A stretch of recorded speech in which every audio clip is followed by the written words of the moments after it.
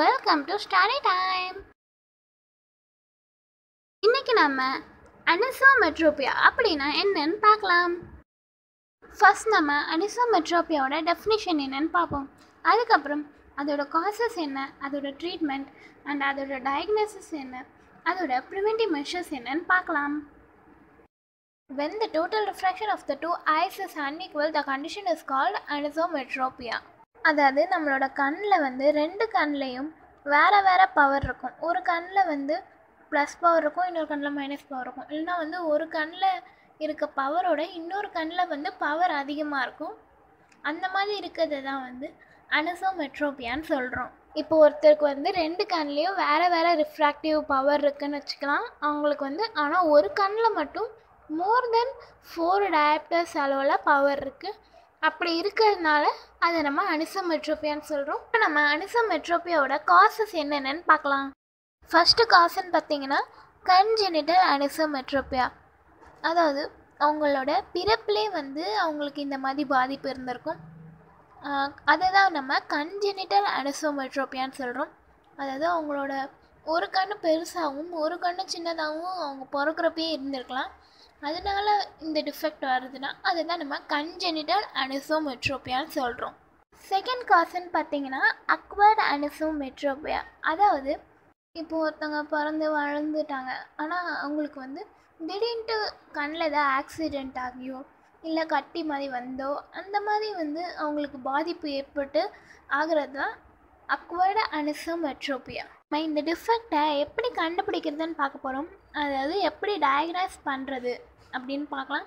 அதுக்கு வந்து ஒரு டூ மெத்தட்ஸ் இருக்குது ஃபஸ்ட் மெத்தட்னு பார்த்தீங்கன்னா ரெட்டினோஸ்கோபிக் எக்ஸாமினேஷன் நெக்ஸ்ட் மெத்தட்னு பார்த்தீங்கன்னா friend test Worth's four dot test இந்த ரெண்டு டெஸ்ட் வழியாக வந்து நம்ம அவங்களுக்கு இந்த டிஃபெக்ட் இருக்கா இல்லையான்னு நம்ம கண்டுபிடிக்க முடியும். ரெட்டினோஸ்கோபிக் எக்ஸாமினேஷன்னா அதாவது அந்த ரெட்டினோஸ்கோப்பி வழியாக அவங்களோட கண்ணை வந்து செக் பண்ணுவாங்க. அதுதான் ரெட்டினோஸ்கோபிக் எக்ஸாமின் இந்த ரெண்டு டெஸ்ட் இருக்குன்னு சொன்னால அதில் வந்து நான் ஃப்ரெண்ட் டெஸ்ட்டை மட்டும் எப்படின்னு எக்ஸ்பிளைன் பண்ணுறேன் ரெண்டுமே வந்து சிமிலராக தான் இருக்கும்.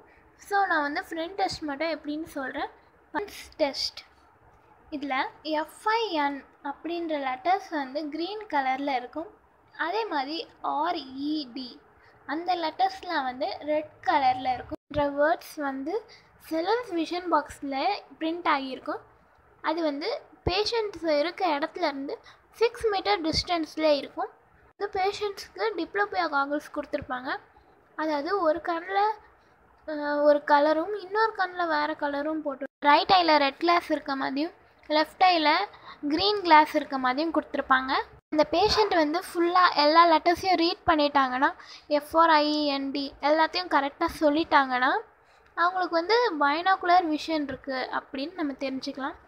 அதாவது அவங்களுக்கு வந்து நார்மலாக இருக்குது அந்தளவுக்கு ப்ராப்ளம் இல்லை அப்படின்னு தெரிஞ்சுக்கலாம். சப்போஸ் அந்த பேஷண்ட் வந்து ஃபுல்லாக ஃப்ரெண்டுன்னு ரீட் பண்ணாமல் எஃப்ஐஎன் மட்டும் சொன்னாங்கன்னா இல்லைனா ஆர்இடி மட்டும்னு சொன்னாங்கன்னா அவங்களுக்கு ஒரே ஒரு கண்ணில் மட்டும்தான் நல்ல பார்வை தெரியுது. அது வழியாக மட்டும்தான் பார்க்குறாங்கன்னு நம்ம தெரிஞ்சுக்கலாம். அவங்களுக்கு யூனியாக்குலர் விஷன் இருக்குன்னு இது மூலமாக நம்ம கண்டுபிடிச்சிடலாம். தேர்ட் ஒன் பார்த்தீங்கன்னா ஃபஸ்ட்டு ஃபின்னு சொல்லியிருப்பாங்க எஃப்ஐஎன்னு சொல்லியிருப்பாங்க. கொஞ்ச நேரம் கழித்து ஆர்இடின்னு ரீட் பண்ணியிருப்பாங்க.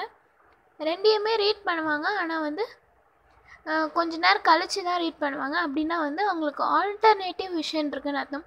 ஆல்டர்னேட் விஷன்னா அவங்களுக்கு வந்து கிட்டத்தில் இருக்கிறத பார்க்குறக்கு ஒரு கண்ணும் தூரத்தில் இருக்கிறத பார்க்குறக்கு இன்னொரு கண்ணும் யூஸ் பண்ணிப்பாங்க.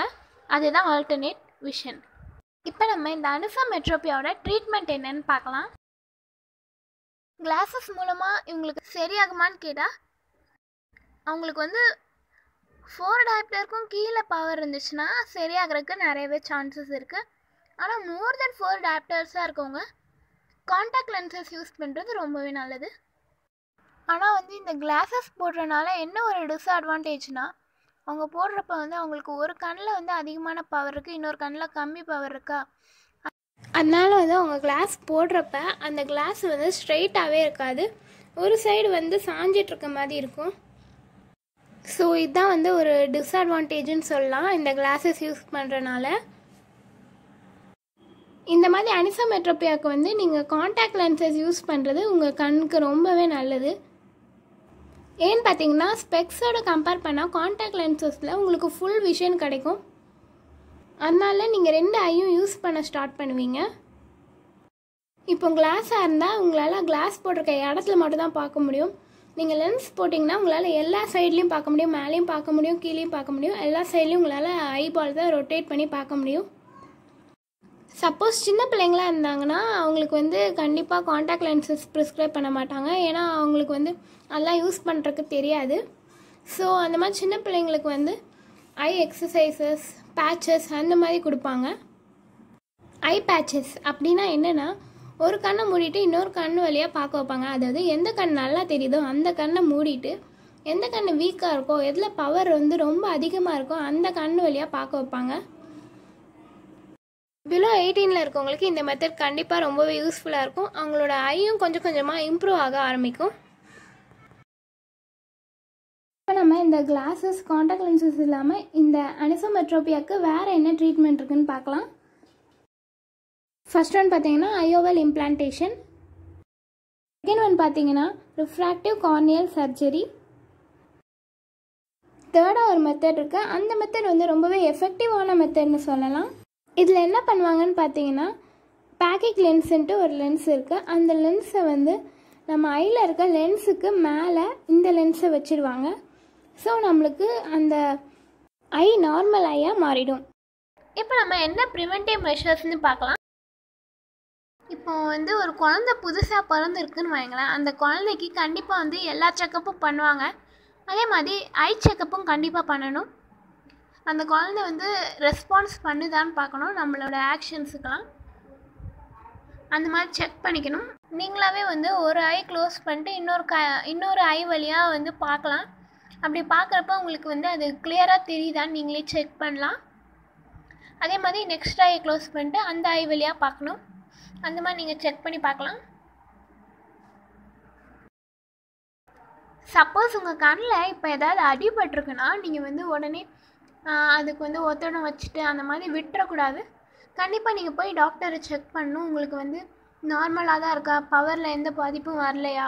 உங்களுக்கு கண் வந்து நல்லா தான் தெரியுதா? அந்த மாதிரி செக் பண்ணிக்கணும் கண்டிப்பாக ஏன்னா வந்து இந்த மாதிரி ஆக்சிடெண்ட் சமயத்தில் வந்து சில பேர் செக் பண்ணாமல் விட்டுருவாங்க. போக போக அவங்களுக்கு கொஞ்சம் கொஞ்சமாக அந்த கண்ணில் வந்து பார்வை வந்து கம்மியாக ஆரம்பிக்கும். அப்படி இருக்கவங்களுக்கு தான் இந்த மாதிரி டிஃபெக்ட் அதிகமாக வர்றது. நெக்ஸ்ட் ஒன் பார்த்தீங்கன்னா நீங்கள் எக்ஸசைஸ் பண்ணலாம். எக்ஸசைஸ் பண்ணலாம். என்னென்னு பார்த்தீங்கன்னா உங்கள் ஐபால்ஸை வந்து ஃபுல்லாக ரொட்டேட் பண்ணணும். சுற்றி ரொட்டேட் பண்ணலாம். அதுங்களோட ஐயை வந்து எல்லா சைடும் ரொட்டேட் பண்ணலாம். அது ஒரு எக்ஸசைஸ் தட்ஸ் ஆல் ஃப்ரெண்ட்ஸ் இந்த வீடியோ உங்களுக்கு யூஸ்ஃபுல்லாக இருந்துச்சுன்னா கண்டிப்பாக லைக் பண்ணுங்கள் அது மட்டும் இல்லாமல் நம்மளோட சேனலை மறக்காமல் சப்ஸ்கிரைப் பண்ணுங்கள் தேங்க்யூ ஃபார் வாட்சிங் I see on on the video bye